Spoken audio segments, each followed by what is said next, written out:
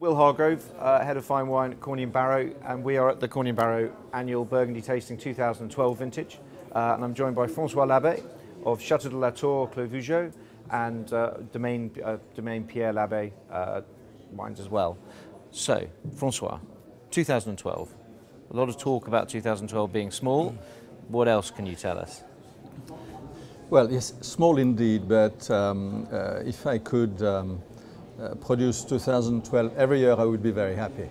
Okay. yeah, in fact, um, very ripe fruits. yeah. Uh, which uh, have allowed us, after strong sorting as usual, to make um, very, very sappy, very gusty wines, you know, Okay. uh, with, a, with a great potential of aging, Yeah. but, but at the same time, um, quite approachable young. Of course, uh, Chateau de la Tour, to put aside for a while, uh, you know, Grand Cru is uh, it's not to drink today, but um, from the for the Pierre Labet wines, for the from the Bourgogne Pinot Noir up to uh, to the Gevrey Chambertin, Yeah.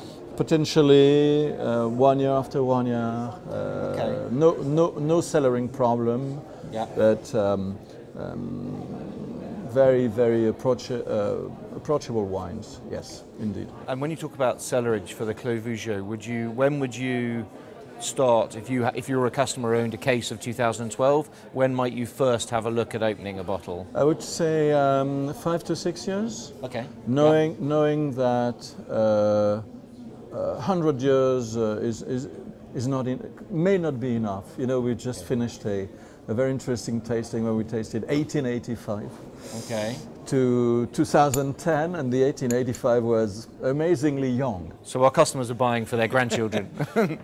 but, but okay, and with, with the other wines, uh, the Domaine Pierre Labet wines, you, as a few producers here do, make both red and white. Yes. Now, people like to make things simple and tend to think of vintages as being better for white or for red.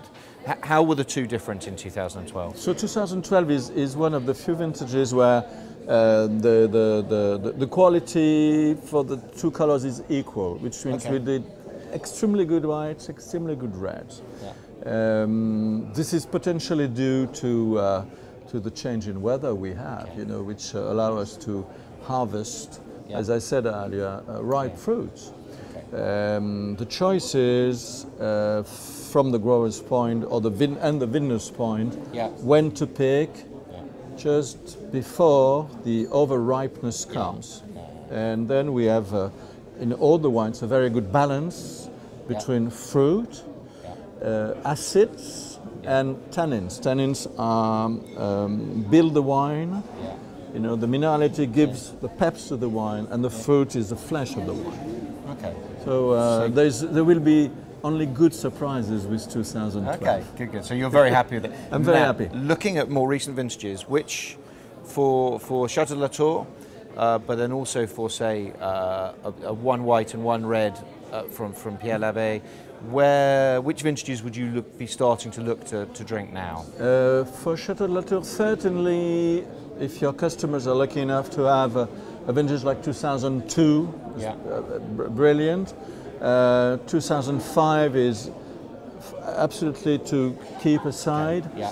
And then 2007 is is popping out and uh, Yeah, and and is extremely extremely Very pure. delicate, Yeah. very pure, very delicate. 08 is to forget. 09 is to forget. Those those vintages having uh, uh, having a nice future ahead. Um, 2010, obviously, yes, is uh, is one of the greatest. And 2011 is to forget. For for the whites, uh, I would love uh, the the uh, 2010 Yeah. today. Okay. Yes, they, they have they have um, um, they are a little advanced in terms of of, of, of opening. Yep. But the minerality and the and the fruits are, are there defi- definitely good as uh, aperitif or with food. And um, and for the reds, uh, 2009, 2009, which is a which is a solid vintage. Yeah. Um, the, the, the strengths of the Gevrey and the strengths of the Beaunes are, are there and they are, they are ready uh, open, to open. Yes, yes, indeed. So I, I can only say cheers to everyone. Merci. François, Thank you, Will. Thank, Thank you. you. Thank you very much.